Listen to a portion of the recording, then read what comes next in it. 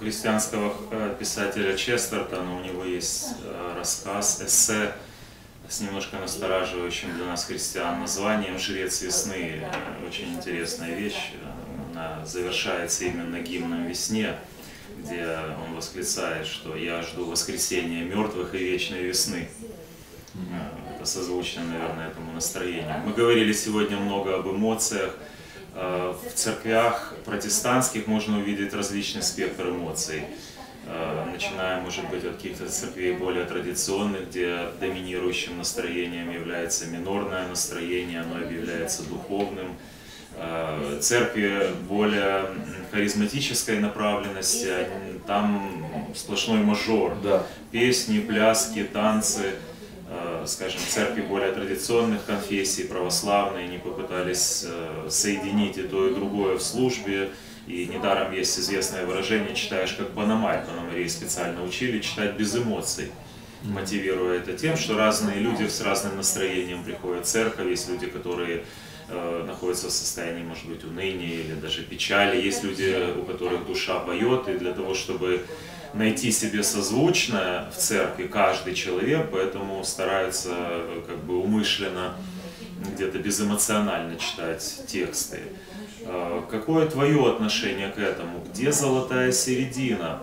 С одной стороны, э, мы знаем, что Библия говорит, мы ходим верой, а не видением, но с другой стороны, если взять те же псалмы, о которых ты говорил, мы видим, что это сплошные эмоции, мы не видим сухого э, морализаторского христианства в царе Давиде, мы видим широчайший спектр эмоций, да и Бог, который, в принципе, где-то, может быть, мы думаем, что он не испытывает ничего, потому что он ни в чем не нуждается, он самодостаточен, но тем не менее богодухновенные тексты через евангелистов, через пророков, через апостолов говорят о том, что душа скорбит, о том, что Бог огорчается, Бог гневается. Где эта золотая середина? чтобы не впасть в чрезмерную эмоциональность и вместе с тем не быть бездушными автоматами церкви. Опять же, вот как в музыке, все-таки есть произведения, э, которые, особенно вот, конечно, в прославлении, особенно вот в прославлении, допустим, харизматическом, есть песни, которые составлены исключительно из мажорных аккордов. И, наверное, есть такое настроение, бывает, и у человека бывает такое настроение, когда у тебя сплошной мажор, когда у тебя просто искры из глаз, и у тебя просто сплошной праздник. Но все-таки, э, а есть, допустим, песни минорные, когда плачевные песни, об этом и в Библии тоже написано, плачевно. Когда мы сострадаем кому-то, мы, мы входим в эти страдания. Э, ты не можешь вывести человека из страданий, пока самому не состра... Иисус, написано, сжалился и исцелил сына вдовы. Сжалился, он, значит, вошел. Когда Лазарь э, лежал мертвый, Иисус прослезился. Это значит, э, и почему? Я уверен, что он, он почувствовал, что Лазарь чувствовал, когда он умирал. Это надо тоже понимать. И, естественно, без, я не верю в безэмоциональность, но эмоции, конечно, не должны главенствовать, поэтому я думаю, все-таки вот э, как все-таки в основном руководство церкви, да и вообще не только церкви, все-таки оно отдано мужчинам, потому что у мужчин эмоции все-таки не, никогда не бывают на первом месте. И они иногда им поддаются, но все-таки мы принимаем решение не все-таки не эмоционально, а как-то более осознанно. И мне кажется, просто надо быть искренними. Потому что с искренними Бог поступает искренне.